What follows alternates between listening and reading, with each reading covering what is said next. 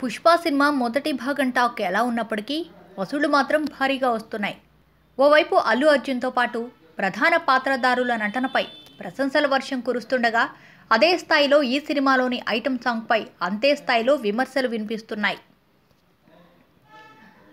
ఊ అంటావా మామ ఊ ఊ అంటావా మామ సాంగ్ లిరిక్స్తో పాటు సమంతను అసభ్యకరంగా చూపించారంటూ చిత్ర బృందంపై నెటిజన్లు ఫైర్ అయ్యారు.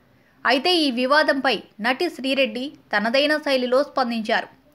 ఎవరి నోట విన్నా ఊ అంటావా మామ ఊ ఊ అంటావా మామ సాంగే వినిపిస్తోందన్న శ్రీరెడ్డి ఈ పాట గురించి చాలా చాలా మాట్లాడాలని అన్నారు.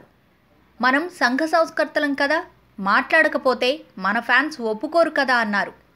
అంతటితో ఆగక ఊ అంటావా మామ పాటను పాడుతూ ఆ వివాదంలో సాంగ్కే తాను మద్దతు చెప్తున్నట్లు చెప్పకనే చెప్పారు.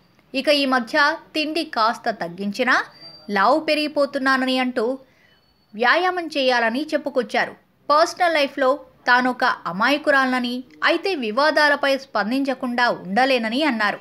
ఇక చివరిగా తాను సింగిల్ అంటూ తనకు బాయ్ ఫ్రెండ్ లేడని మీకు నేను నాకు మీరు అని ఆమె కామెంట్ చేయడం కోసమేర్పు.